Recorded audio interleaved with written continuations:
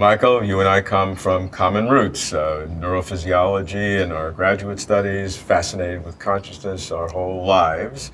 Uh, then we diverged. I went to do other things, and you've really focused on consciousness. And I'm really interested what your thinking is at this point about the nature of consciousness.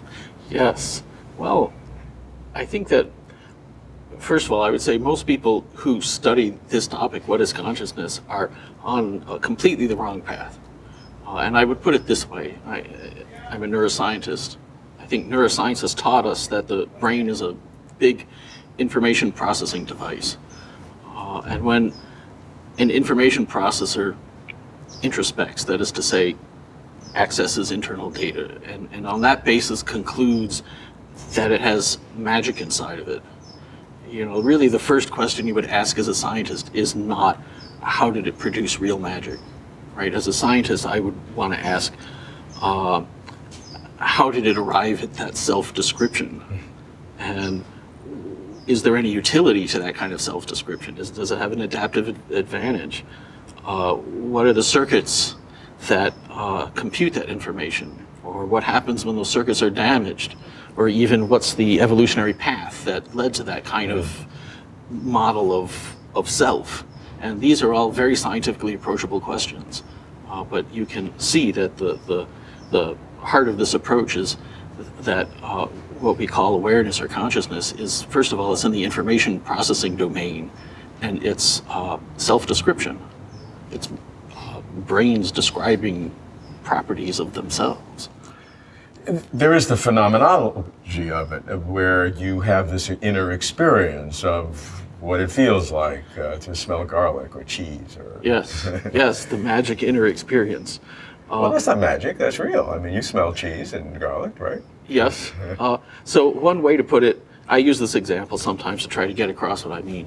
Uh, as far out as this example sounds, I have a friend, he's a psychologist, he told me about a patient of his.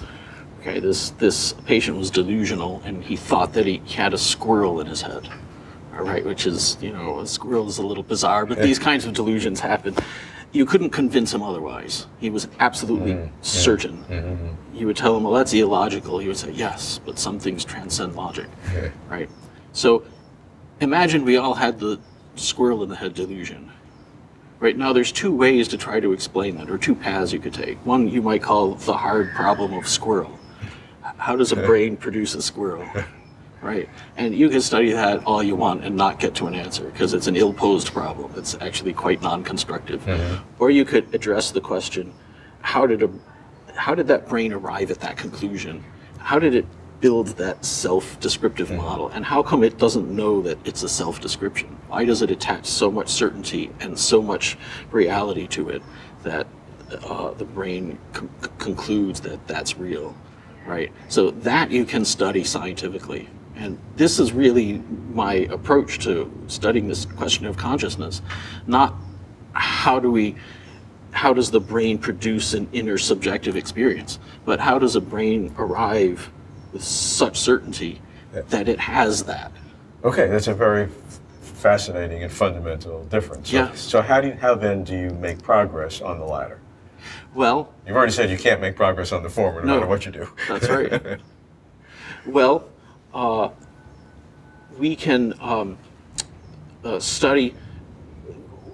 Essentially, this begs the question: if the brain is building this kind of self model, well, brains build models of things. That's what brains do. They use information and signals and build informational models of things. It's one of the fundamentals.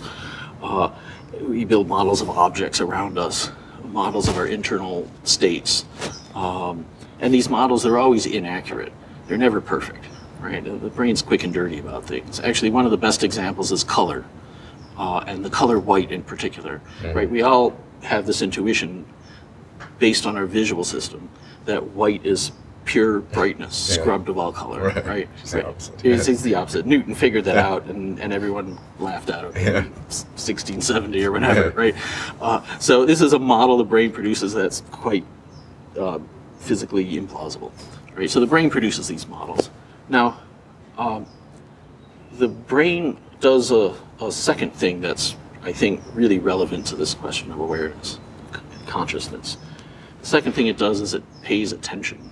I mean something very specific by that. Uh, so, a- attention is uh, basically a data handling method. It's, it's a mechanistic way of sorting data and focusing on a small number of signals at the expense of other signals. Brains do this. Uh, one can build it into a, a circuit, and actually, that kind of thing has been done. So, it's quite mechanistic, right? Now, you might ask, uh, what happens inevitably when the brain combines these two uh, talents, building models and paying attention. What happens when the brain builds one of these kind of cartoonish schematized models of its own internal process of attention? We think that this is what awareness is. Awareness is the brain's way of describing to itself what it means to focus attention on something. Are you using awareness and consciousness synonymously? Right, that's a very good question, actually. Many people do. Uh, I kind of prefer the word awareness, it's a little less loaded. Uh, so, uh, consciousness, people mean so many different things. by Right, right, right. And w- w- one of the biggest confusions, I think, is some people mean the content of consciousness. We talk about consciousness, people talk about, oh, I have memories and, Right. you know, I, I have a personality and, you know, I can feel something and see color. Uh, but by awareness, what I mean is we can be aware of things. Uh, doesn't matter what the things are. It doesn't matter what the things are. What's the awareness? What does it mean to be aware of s- something, anything mm-hmm. at all? Mm-hmm. And what I'm suggesting here is brains can pay attention to things, uh, but brains can also essentially tell themselves or describe to themselves what does it mean that I'm paying attention to that? Well, here's my story or account of what it means to pay attention to something. So, in your formulation, the brain uh, self constructs uh, uh, awareness in order to focus its own attention on its internal state? Uh, in order to control its attention. So, in order to control something, it's good to have a model of it. Uh, I, sometimes I like to use the example of the general with his army and his little model army that he uses to keep track of the real army.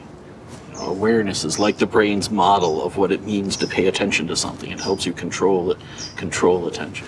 A- And so the real focal point of the purpose is to control attention. Yes. So it husbands the Yes. brain's resources to focus on what's the most Yes. important thing at the moment. Yes. And it creates this thing that we call awareness Yes. or broadly consciousness Yes. uh, uh, in order to do that. But you're, but you're saying that that's what we've invested all this uh, importance in. Consciousness is really just this brain model to handle the, the, the attention, uh, uh, al- resource allocation issue. Yes, I would say that's how it, that that's the fundamental function.